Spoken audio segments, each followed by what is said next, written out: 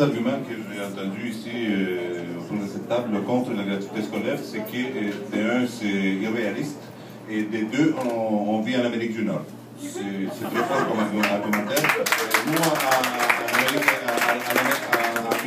nous, on propose, euh, pour financer la, gratuité scolaire, qui est chiffrable, ça coûte 440, dollars par, euh, 440 millions de dollars par année, et euh, on propose, pour financer spécifiquement la gratuité scolaire au niveau universitaire, c'est de réintroduire une taxe que le Parti libéral a renoncé, une taxe sur le capital financier des entreprises, des entreprises financières, donc une taxe de 0,8%, ce qui va nous permettre d'aller chercher environ 600 millions de dollars. Donc il faut juste un courage politique de notre classe politique d'aller chercher des revenus légitimes qui reviennent au peuple du Québec. Monsieur. Euh, juste avant question,